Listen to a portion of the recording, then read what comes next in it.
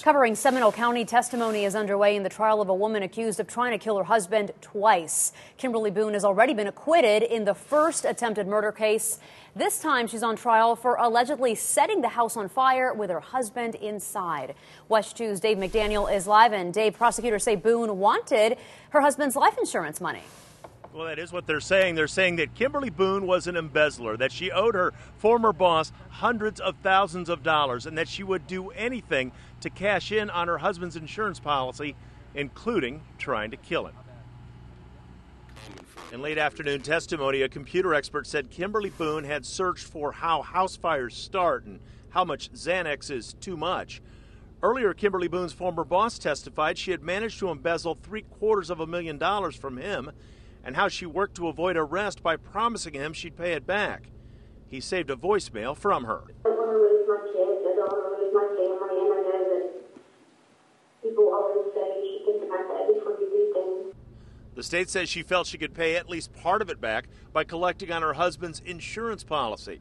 Their home did burn after a fire started in the master bedroom moments after Kimberly Boone drove away.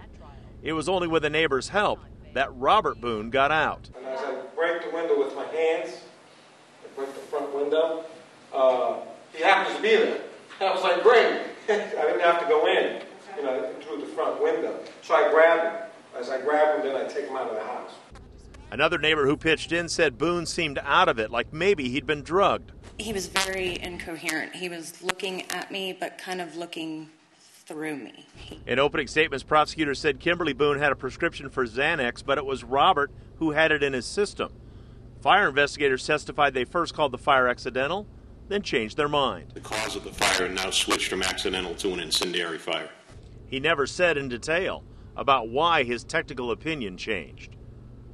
Now, Kimberly Boone's attorney says that nobody really knows how the fire started. In fact, he points out that fire investigators said for weeks after the fire that it was accidental in nature, caused by some type of electrical short.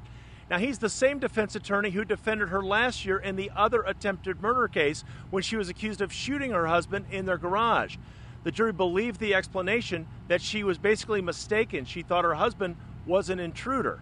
Robert Boone has survived both attacks, and basically he and his wife are now divorced, and he's expected to testify tomorrow. Reporting live at the Seminole County Courthouse, Dave McDaniel, WESH 2 News.